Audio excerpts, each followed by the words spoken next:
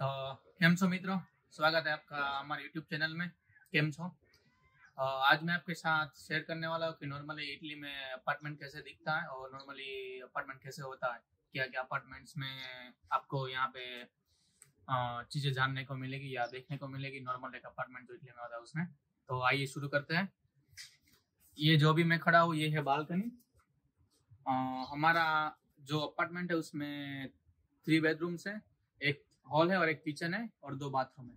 तो मैं आपको सबसे पहले किचन में लेके जाता हूँ।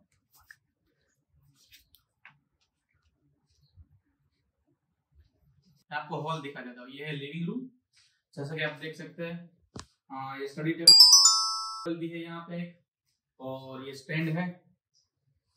ये टीपॉय है टीवी के लिए जगह है स्पेस है सोफा है एक।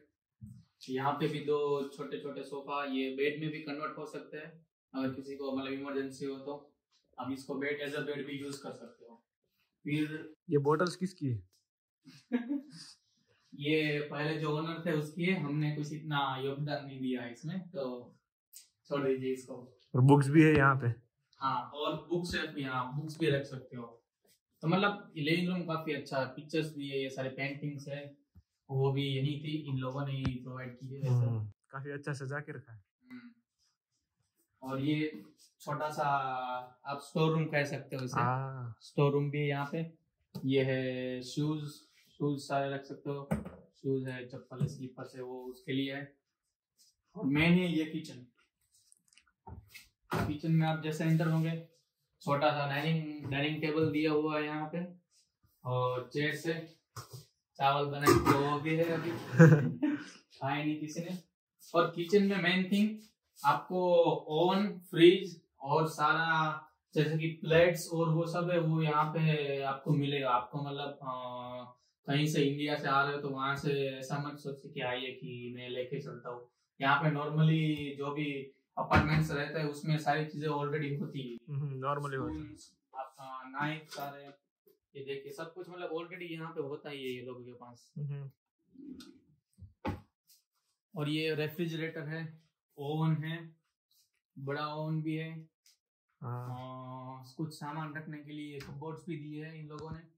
जैसे कि हमारा सामान अभी इसमें रखा हुआ है। काफ़ी सारा सामान। हाँ। एक छोटा सा मंदिर भी है। हाँ और हमने मतलब मंदिर भी बनाया हुआ है यहाँ पे। काफ़ी अच्छा है कल्चर नहीं भूलना है। हाँ इंडिया का culture। और मेन थिंग है कि किचन में भी बालकनी है हाँ। ये भी देखिए आप। ये बालकनी भी काफ़ी अच्छी है। और मेन मेन चीज़ इसकी है कि जब अ, धूप आती है तो यहाँ पे पूरे दिन धूप यही बालकनी में रहती है। हम्म, हम्म, हम्म, ताकि अगर आपको मतलब स्टैंड में कपड़े सुखाने हो वॉश करके ड्राई करने हो तो आप इजीली कर सकते हो। ये मेन मेन एक बेनिफिट है इसका। और हम इंडियन से तो हमें धूप की आदत होती है तो बैठना भी हो तो चल लेके आप बैठ भी सकते हो हाँ मॉर्निंग में चाय पी पी के। हाँ ऐसा काफ़ी अच्छा मज़ा आता होगा। तो हम आगे बढ़ते हैं अब मैं दिखाता हूँ आपको बेडरूम थ्री बेडरूम से तो फ़र्स्ट चलते हैं मेरे रूम में।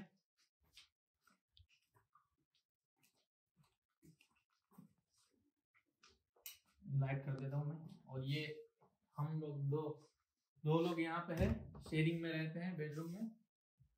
अ, मैं है और मैं एक मैं सेटिंग में दोस्त में पड़ता है वो रहता है।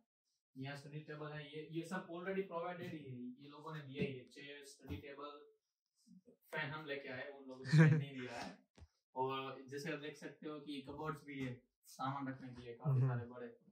ये सब भी उन लोगों ने ऑलरेडी यहाँ पे था फुली फर्निश ही था मतलब हमने कुछ किया नहीं है मैट्रेस बेड ये सब उन लोगों ने ऑलरेडी प्रोवाइड ही दिया प्रोवाइड ही किया था। अच्छा रूम है काफ़ी। हाँ आप मैं आप लेके चलता हूँ दूसरे रूम में। क्योंकि है पार्थ का जो ये वीडियो शूट कर रहा देखिए ये पार्थ का रूम है। यहाँ पे एक्चुअली हमने डबल बंकर बेड लगाया है। ये प्रोवाइड नहीं था पहले लेकिन हमने लगा दिया bunker bed but already bed दिया था।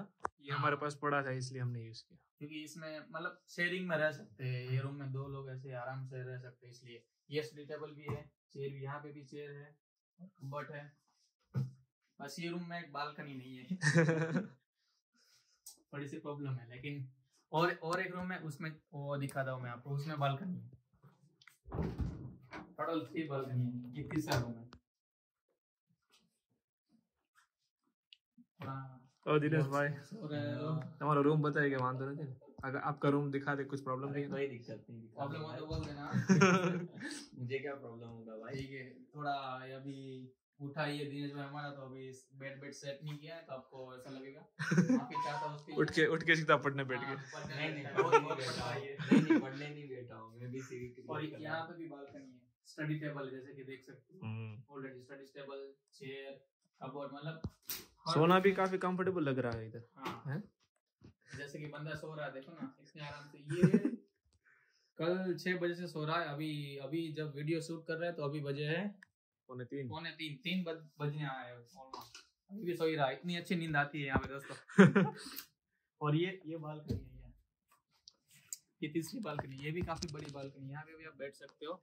अगर सुबह आपको मॉर्निंग चाय कॉफ़ी कुछ भी पीना हो बैठ के तो आप आराम से बैठ के पी सकते हो बातें कर सकते हो घर में फ़ोन में। और स्पेशली आप अगर किसी को गार्डनिंग का शौक है तो आप वो भी मतलब स्पेस है थोड़ी सी वो आप कर सकते हो छोटी छोटी गार्डनिंग का हाँ। काफ़ी स्पेस है। ये कबोर्ड दिया हुआ लेकिन इसका यूज़ पता नहीं है हमको। अब अब मैं आपको दिखाता हूँ कि दो बाथरूम है हमारे पास टोटल तीन रूम मैंने दिखा दिए। थ्री बेडरूम थ्री बालकनी है और बस ये दो बाथरूम दिखाए हुए हैं। जिसकी ये है बड़ा बाथरूम और इस साइड है। हाँ। ये ये भी है एक बाथरूम है लेकिन ये छोटा है। अगर आपको बाथरूम देखने को दिखा सकता हूँ वैसे। देखिए। एज यूजुअली सिंक है बाथटब भी है इसमें। और मेन थिंग वॉशिंग मशीन भी है। वॉशिंग मशीन इंक्लूडेड था हाँ वॉशिंग मशीन ये लोग प्रोवाइड इंक्लूडेड ही रहता है इसमें रेंट में नॉर्मली ये लोग देते हैं। नॉर्मली मतलब हर किसी भी अपार्टमेंट में आप अगर जाओगे इटली इटली में यहाँ पे तो वॉशिंग मशीन इंक्लूडेड ही रहता है। आपको मतलब ऐसा नहीं है कि परचेस करना पड़े या नहीं करना पड़े।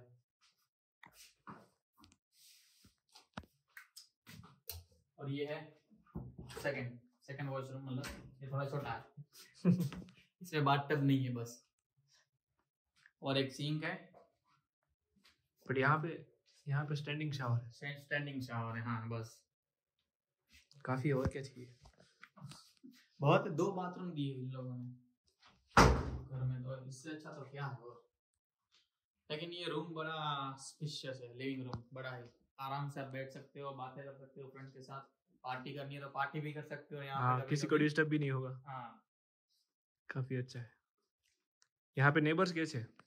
नेबर्स बोलूँ तो नेबर्स होते हैं जब क्रिसमस स्पेशल कोई भी ओकेशन होता है तो हम लोग जाते हैं वो भी गिफ्ट देते हैं हम भी गिफ्ट देते हैं बातें करते हैं लेकिन इंडिया जैसा नहीं है कि मतलब आप जाओगे तो आपको नीचे बैठे हुए मिलेंगे या फिर हाँ, बातें करते हुए हम्म, मिलेंगे हम्म। इतने वो क्या है सोशली नहीं है लोग हाँ। यहाँ पे सोशल इतने ज़्यादा नहीं होते कोई नहीं कोई नहीं बट बट तो भी शांत है यहाँ पे बहुत शांत है बहुत ही।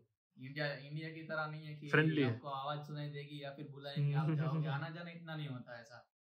तो काफ़ी शांत है और हम लोग भी उसको डिस्टर्ब नहीं करते, वो लोग भी हमको डिस्टर्ब नहीं करते।